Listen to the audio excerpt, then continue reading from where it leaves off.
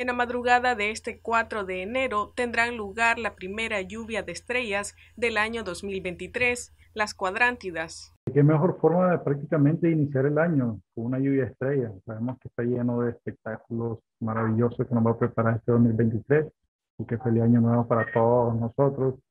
Eh, la verdad es que las expectativas para este 2023 son bastante altas y qué mejor que iniciar con, con esta lluvia estrella que toda la población de Nicaragua la puede disfrutar con sus seres queridos. Lo, las recomendaciones siempre que nosotros damos para esta lluvia estrella es alejarse lo más lejos posible de la contaminación lumínica, este, irse a la playa, el mar, a disfrutar, disfrutar del cielo.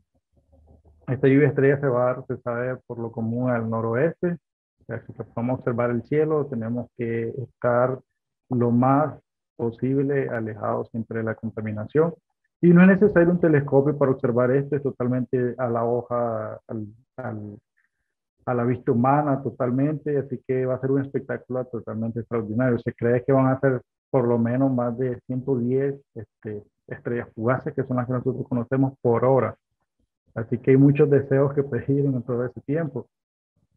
Este, la hora más indicada es, este, va a ser esta noche a la desde hoy 3 de enero a amanecer 4 de enero, que la hora más indicada por lo de la luna que nos va a afectar ahí un poquito, siempre va a ser que estemos desde las, desde las 1 de la madrugada a 3 de la madrugada, sería el 4 de enero. Así que ser un espectáculo totalmente único.